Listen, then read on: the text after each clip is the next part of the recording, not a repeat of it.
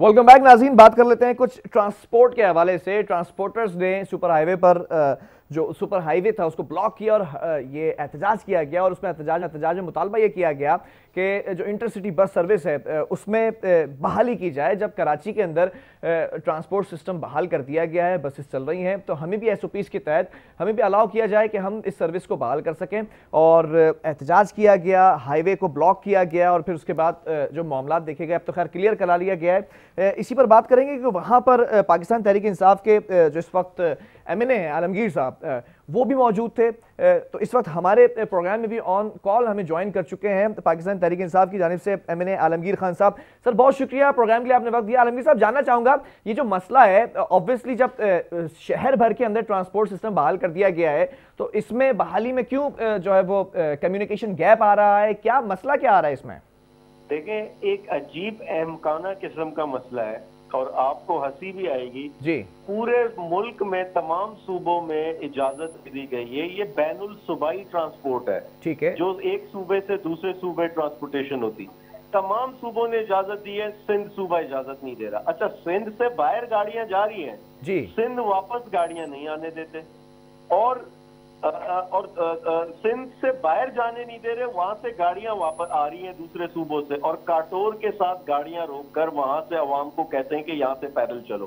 काटोर में क्या कोरोना नहीं है? और जो बाहर से गाड़ियाँ आ रही हैं दूसरों सूबों से, क्या उसमें कोरोना नहीं है?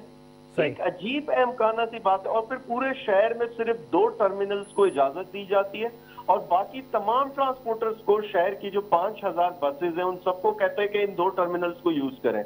उन दो टर्मिनल्स पर अगर इतने ज़्यादा लोगों का इज्तेमा होगा इतनी बसेज होंगी इतने अवाम आएगी तो वहाँ कोरोना नहीं फैलेगा। अब ये ट्रांसपोर्टर्स पिछले चार माह से मिल रहे हैं मिनिस्टर से वज़ीर आला से सेक्रेटरी से प्रेस क्लब पे एक एहतजाज भी किया। इन्होंने कहा हम तमाम एसओपी फॉलो करने को तैयार है। जो आप बताएँगे हम फॉलो करेंगे।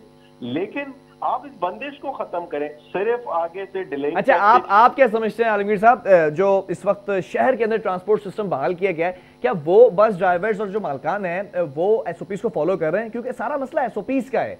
अगर ये भी खोल दिया जाएगा इंटरसिटी बस सर्विस तो अगर एसओपीज फॉलो नहीं किए जाए और कोरोना के जो जो इस वक्त इफ़ेक्टिव हैं वो बढ़ते हैं तो फिर कौन जिम्मेदार होगा? देखिए एसओपीज पे फॉलो करवाना हुकूमत का काम है इंतजामिया का काम है। ठीक है। और जो फॉलो नहीं कर रहा उस फर्द वाहिद पर उस कंपनी पर उस वो जो भी जो भी बिज़नेस सेटअप है उसके खिलाफ कार्रवाई की जाए। ये थोड़ी है कि आप पूरे शहर में जो है एक पॉलिसी दे दें और दो टर्मिनल्स को इजाज़त दे दें बाकी सैकड़ों जो बिजनेसेस हैं उनको बंद कर दें। दूसरी चीज़ ये कि कि आपको कोरोना का अख्ताम नहीं पता। आपको नहीं पता कि ये एक साल में खत्म होगा पाँच साल में खत्म होगा। तो जब आपको एक मालूम है कि इसी वबा के साथ जीना है आपने तो अब एसओपीज ही वाहिद हल है कि एसओपीज के तहत आप तो आ, आप समझ रहे हैं क्या जो शहर के अंदर बसें चल रही हैं ऑब्वियसली फिर मैं अगर बाजारों का रुख कर लूँ या दीगर जगहों का रुख कर तो वहाँ एसओपीज फॉलो किए जा रहे जिस तरह हुकूमत ने कहे थे? देखिए एसओपीज मैं फिर से कहूँ ये फॉलो करवाना इंतजामिया का काम है। इंतजामिया उन लोगों को पनिश करे, जो एस ओ पी की खिलाफ वर्जी वायलेशन करते हैं। एक को एक को मिसाल बनाए, मैं देखता हूँ कौन फॉलो नहीं करता। लेकिन ये तो नहीं हो सकता कि आपने बंदिश कर दी है कर्फ्यू नाफिज कर दिया तो आप समझ रहे हैं कि पूरा शहर और जब आप इतनी बंदिश करेंगे, फिर ये दूसरे इनलीगैलिटीज की तरफ़ क्रिमिनल एक्ट की तरफ़ जाएँगे ये लोग। ये कैसे हो सकता है? ये जो ट्रांसपोर्ट की मैं बात कर रहा हूँ इससे लोगों का पेट जुड़ा हुआ है। इससे लोगों की तो ये जो इंटरसिटी ट्रांसपोर्टर्स हैं। ये यकीन दयानी करवाते हैं एसओपीस फॉलो करवाया जाएगा फिर दो दो सीट्स के ऊपर एक एक बंदे बिठाए जाएँगे। हंड्रेड परसेंट इन्होंने यही मुतालबा रखा कि आप कहते हैं कि गाड़ी जो जो बसेज हैं इसको डिसइंफेक्ट करने हम करने को तैयार हैं। आप कहते हैं कि बसेज में पचास लोग आते हैं तो इस पे पच्चीस लोग बिठाए जाएँ वो करने को तैयार है। जो सोशल डिस्टेंसिंग आप कहेंगे वो हम करने को तैयार अच्छा पंजाब में भी ऐसी हुआ था दो सीट पर एक बंदा बिठाने की बात की गई थी उन्होंने हिमायत की थी। उसके बाद जब बहाल कर दिया गया था तो फिर मना कर दिया गया था ट्रांसपोर्टर्स की जानब से कि मार्जिन हमारा इतना नहीं है। तो ऐसा तो नहीं है कि हम इजाज़त देते हुकूमत इजाज़त देते और फिर इसके बाद फिर ये एक और एसओपी या एक और मुतालबा कर दे। देखे इस वक्त बिलाल बात समझे दू, दूसरे सूबों में इजाज़त दी हुई है। एसओपीज के मुताबिक चल रहा है। दूसरे सूबे में क्या पाकिस्तानी नहीं रहते? एलियंस है क्या वो? वो फॉलो कर रहे हैं इस चीज़ को। दूसरी चीज़ ये कि यहाँ भी कराची में दो टर्मिनल्स को इजाज़त दी हुई है। ये दो टर्मिनल वाले कौन से आसमान से उतर के आए? ये पैसा खिला रहे हैं। ले, लेकिन लेकिन कराची कराची मेट्रोपॉलिटन हब है मेगा सिटी है सबसे ज़्यादा आबादी वाला शहर है। आप नहीं समझते अगर ट्रांसपोर्ट सिस्टम यहाँ से बहाल किया जाता है तो सबसे ज़्यादा ट्रैवलिंग ही यहाँ से होती है। कैसे मैनेज करेंगे ये लोग? इस वक्त जिस ट्रांसपोर्ट की मैं बात कर रहा हूँ बैनुल सूबाई ट्रांसपोर्ट की मैं बात कर रहा हूँ। मैं बिल्कुल उसी उसी हवाले से ट्रेवलिंग की बात कर रहा हूँ। जी।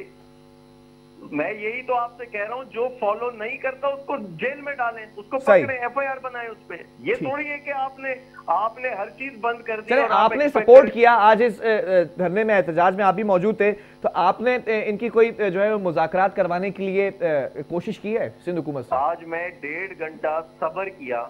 जबकि पिछले तीन माह से मुजाकराती अमल चल रहा था। आज फिर हमने एक मौका दिया मुजाकरात को। आज फिर एक मौका दिया कि शायद कोई हल निकले कोई मुतमिन कुन बात निकले।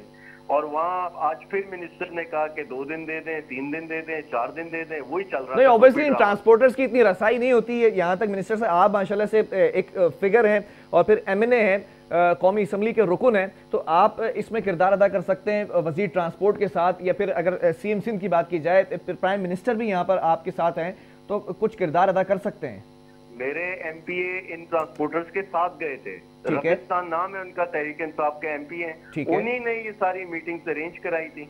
उन्हीं ने ये सारे एक्सेस दिलवाया अब मामला हल होते नज़र आ रहे हैं। अभी तक तो कोई हमें मामला नहीं बल्कि आज जो मिनिस्टर की तरफ़ से बयान आए तो वो तो इंतहाई कोई मायूस कन बयान थे वो टोटल उन्होंने सियासी कर दिया इस इशू को। हम बात कर रहे हैं इशू पर वो बात कर रहे हैं सियासत पर। वो कभी अच्छा ये अजीब मामला है जिस इशू को पीटीआई या वफाकी हुकूमत सपोर्ट करती है उसको जो है वो सियासी असर रसूख दे दिया जाता है। फिर सिंध हुकूमत का एक अलग ही निज़ाम है वो बिल्कुल अलग चलती है वफाकी हुकूमत से। ये चक्कर अभी तक मुझे समझ में नहीं आया सर। देखिए तय ये चीज़ करनी होगी कि ये ना देखें कि बोल कौन रहा है ये देखें कि बोल क्या रहा है। जो वो बोल रहा है वो वो वो इशू है या नहीं है? ठीक। ये लोग हमेशा सिर्फ़ ये देखते हैं कि ये तहरीक इंसाफ वाले बोल रहे हैं बस सियासत शुरू हो गई।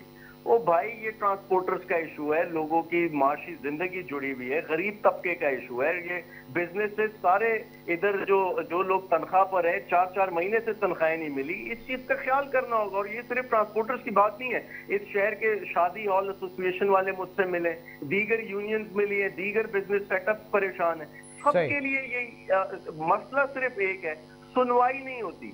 अच्छा सुनते हैं तो अमल नहीं करते एक्शन नहीं होता डिले पे डिले करते सुस्ती ना एली है। और फिर जब सड़क पे बैठ जाओ एहतजाज करो ब्रेकिंग न्यूज़ बनाओ तब कहते हैं ये सियासत करें रहे भाई जब आप सुनोगे नहीं तो मैं सड़क के अलावा कहाँ जाऊँगा? नहीं।